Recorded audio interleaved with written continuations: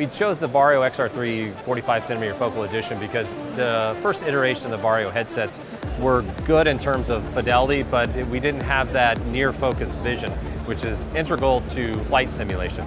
We've introduced the headset to a military customer recently, and they, they really appreciate the ability to see something within that 45 centimeter focal range.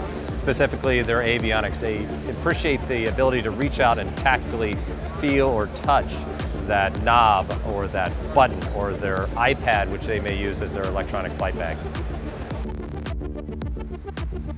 We think it's important to see clearly, specifically the avionics panel, the instruments within the flight deck itself, because that lends to increased flight training, proficiency.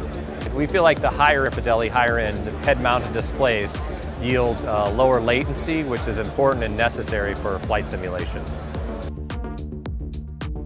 With Flight Safety International, we have a number of military customers and they demand high security. So with the XR3 uh, Focal Edition, we're able to give them that high level of security as it, we are, can use an offline license so there's no connection to the internet. I think with the mixed reality training, you know, we're able to provide a visual display option that's much more cost effective than the large uh, collimated displays. It's allowing for a much smaller footprint, a much more eco-friendly environment for flight training.